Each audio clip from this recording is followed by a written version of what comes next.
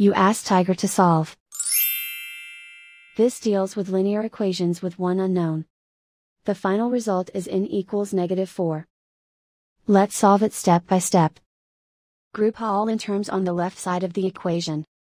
Subtract 4n from both sides. Group like terms.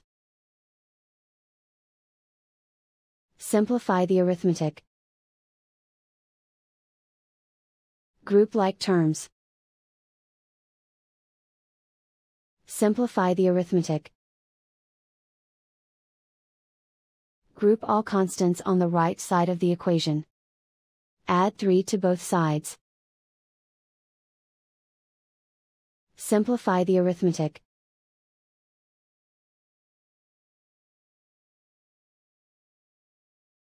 Convert the n into a positive number. Multiply both sides by negative 1.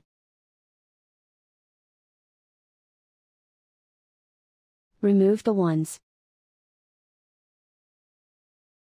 Simplify the arithmetic. And so the final result is n equals negative 4.